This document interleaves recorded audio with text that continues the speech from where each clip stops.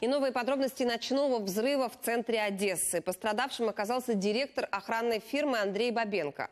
Мужчина работал на крупного бизнесмена Романа Купера, которого местные активисты обвинили в создании монополии и криптоимперии. Все детали знает э, Любовь Кукла. А у вас окна сюда выходят? Да, у нас сюда и кухня, и балкон. То есть у нас на балконе даже остатки от автомобиля, запчасти. Одесситка Инна Бородина находилась у себя дома, готовилась ко сну, когда около полуночи услышала мощный взрыв. Мы уже почти легли спать, и сильный взрыв просто разорвал пространство. Выскочили, у нас здесь машина стояла под домом. Это страшно. Взрыв был настолько сильным, что у местных жителей вылетели окна. В квартирах осыпалась штукатурка. Как выяснилось, взорвалось припаркованное у ее дома авто. Муж выбежал на улицу, я оставалась на балконе, и тут э, очень быстро, оперативно приехала скорая, пожарная, милиция. Видели, как уносили пострадавшего.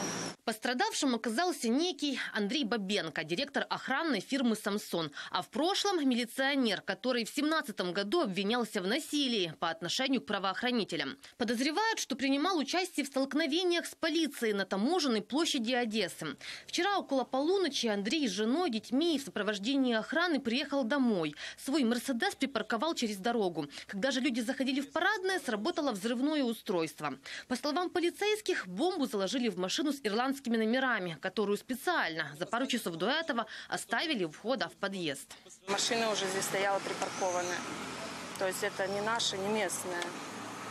А как давно она здесь стояла? Что пишут, туда три дня там стояла и так далее? Вот Нет, нет. Она три дня здесь... Я ее пар- ну, не видела. После обеда она появилась. Вот вечером в 9 часов мы выходили на прогулку. Она уже стояла и, наверное, была уже заряжена.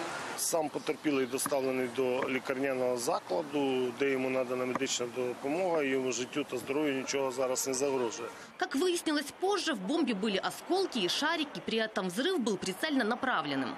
Звичайно, є всі е, версії, які е, розглядають слідчі, опрацьовуються, вивчаються. На жаль, офіційна заборона е, від слідчих надавати будь-які коментарі е, стосовно деталей чи обставин цього інциденту, а також про стан здоров'я потерпілої особи.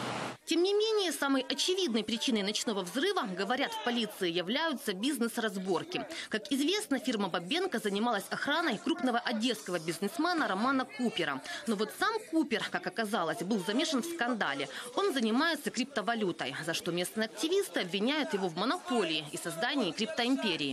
Сколько тебе заплатили? В конце мая офис Купера пытались взять штурмом и забросали яйцами, после чего он и нанял охранную фирму Андрея Бабенко. Послужил ли конфликт причиной взрыва, пока выясняют правоохранители, но уже говорят о возможном покушении на убийство. А тем временем лидер активистов Марк Гордиенко заявил, они здесь ни при чем. Любовь Кукла и Андрей Анастасов. Подробности телеканал Интер.